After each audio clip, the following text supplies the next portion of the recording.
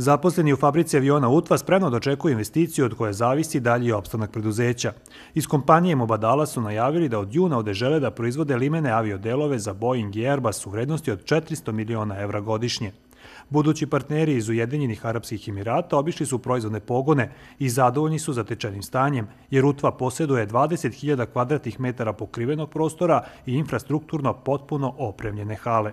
Radnici Utve se ne plaše izazova novih, Zbog toga što imamo iskustva. Recimo ima radnika ovdje koji rade po 20-30 godina.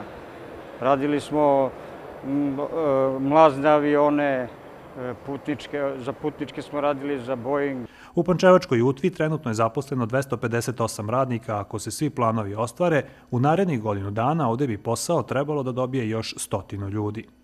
Sa tom novom investicijom to bi bilo jedno opravdanje, opstanak firme koja svakako već egzistira 76 godina, samo bi nastavili. To je to što investitoru treba. Treba mu brend, treba mu pozicija, treba mu dobra lokacija, iskusni ljudi i ono što je najbitnije, to su mašine novih generacija koje su mnogo brže od ovih da bi se postigla neka veća ekonomičnost i veća produktivnost fabrice. Utva je bombardovana 1999. godine i tada je uništen veliki deo pogona, ali ako bude trebalo, i ovaj deo fabrike može vrlo brzo da se obnovi.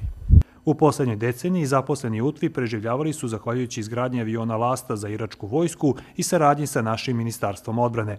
Uz Mobadalu ovde veruju da će izbeći stečaj i da će moći normalno da žive od svog rada.